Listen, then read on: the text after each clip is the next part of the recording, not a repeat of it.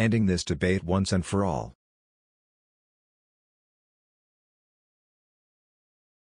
I'd argue that Redstone is less a programming language and more a hardware description language. I can desing a circuit board with a microprocessor and develop a library for it but I can't make hidden doors without help not even starting about more complicated things. I mean Redstone is stupidly powerful, like people have made their own computers in it. Do you mean the Java interpreter or C interpreter?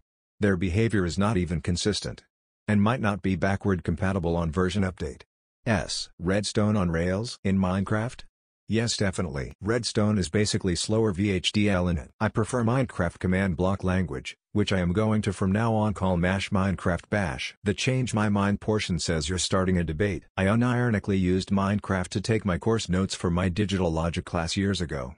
Just spun up a super flat redstone world in creative mode and implemented all of my circuits there. There has got to be a way you can interact with a loaded map in a Minecraft via command blocks on a server and use redstone to make an interactive website.